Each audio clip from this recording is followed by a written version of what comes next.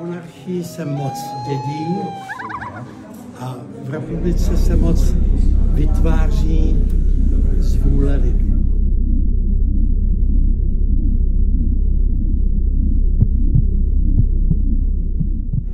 No není to v tom případě potom taká doložka, jako mali komunisti, že tu musí stále vyhrát republika.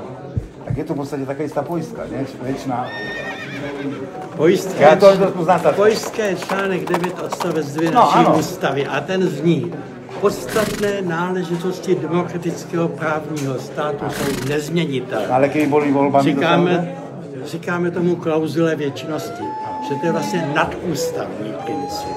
No, a není to tak ten článek 4 komunistické strany? To bych netvrdil, protože článek 4 byl vedoucí úlohy komunistické No, a to strany. úloha když to, když to tady je to, co je ústavně jako nejvyšší hodnota chráněné, je demokratický právní stát.